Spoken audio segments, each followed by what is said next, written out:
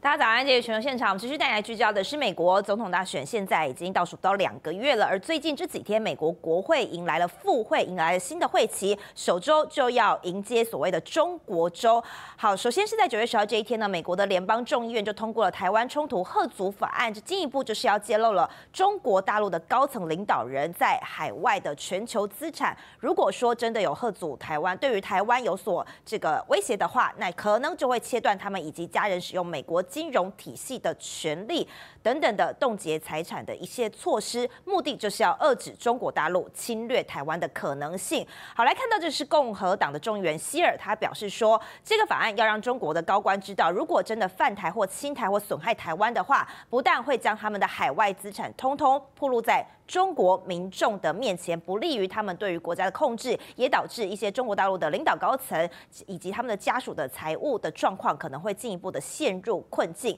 好，另外刚刚提到了首周就迎来了中呃美国国会的中国周，这也是共和党籍的众议院议长强生他就表示，在这一周里头会速审一系列聚焦中国大陆的法案。那其实有二十五项是直接或者是间接和中国有关的法案的排期。好，中美关系到底在这个美国众大选之前会有怎么样的演变呢？其实，在上周的时候，这个美国国安顾问。到北京这边跟大陆国家主席习近平来会面，而大陆的国安部在昨天就发表了一个新的文章，指出说中美关系有四个没有变的基调。这个首先是要强调的是，中方致力于中美关系的稳定、健康、可持续性的发展的目标是没有变的，并且也强调了中美之间的友谊是没有变的。另外也提出了所谓的五个关键，还有新三步，就目的是要建构中美关系的防火墙。那其中的新三步涉及到的红线。主权以及国安，那当然，中国大陆一直他们强调的所谓的红线，就是台湾问题是中美关系第一条不可逾越的红线。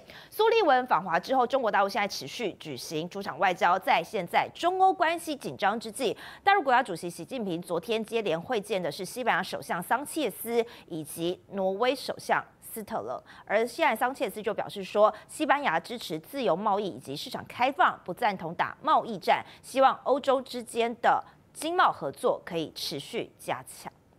Es un honor realizar esta visita oficial a China un año después de nuestro último encuentro.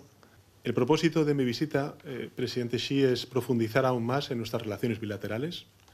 sobre la base del respeto y del reconocimiento mutuo. Y la influencia de, de China y de usted, presidente Xi, como país eh, comprometido con la paz, creo que es fundamental. Presidente Xi, China juega un papel central en el mundo. 好，可以看到，这是西班牙首相桑切斯，他就表示要平衡中欧之间的关系是有利于全世界的，希望双方可以加强的是人文交流、深化经贸、新能源汽车等等的合作，支持自由贸易跟市场开放等等原则，不赞同打贸易战。习近平他同时也向挪威的首相表示，中挪建交七十周年，挪威是北欧第一个和中国大陆建交的国家之一，希望双方的关系能够止跌企稳。俄乌战争当然也是会谈的重点之一，习近平现在。持续表示会持续推动政治解决乌克兰危机，而中俄之间的各项合作持续的深化。大陆的国防部在九号发布了一个最新消息，指出说俄罗斯的军队本周将会派出海空力量，要参加中方在日本海鄂霍次克海域的举行的北部联合二零二四演习。中方的指挥人员目前已经抵达到了海参崴联合指挥部，也已经开设完成。飞行员围绕可能出现的威胁。和复杂气象条件进行了专攻精炼，针对特殊情况进行了专项的技术研究。机务人员根据飞机的特点进行了全面的检查维护，使飞机处于良好的状态，确保演习取得预期效果。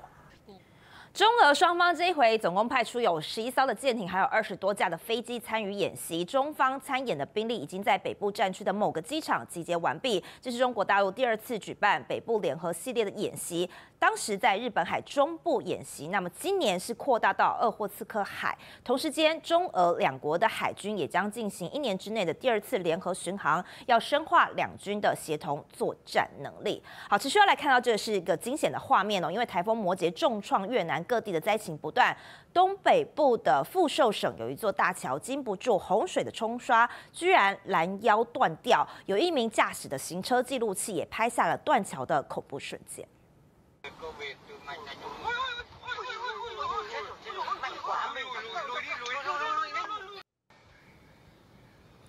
好，可以看画面，简直就像电影一样，驾驶就眼睁睁看着前面的卡车突然消失无踪无影，吓到惊叫连连。旁边的摩托车的骑士也差一点就掉了下去。这一座横跨沱江的福州呃。丰州大桥在九号上午的时候突然就垮塌，导致有多辆的汽车坠河，有多达十三个人失踪。越南的官媒现在进一步的报道，台风摩羯已经在当地导致有五十九个人死亡。以上就是这一节的全球现场。朋友都知道我是很挑剔的，防晒乳我选 Kiss 皇家呵护抗光清爽高防晒凝露，因为它有媲美蓝光神盾的抓藻植萃。保护我在阳光下延缓肌肤老化，维持青春弹力，可以防御工作环境里的三 C 商品，各种光源对肌肤的伤害，擦起来清爽不黏腻。我特别喜欢它做到海洋友善，三百六十五天，天天抗光抗老化，是我的保养日常。你呢？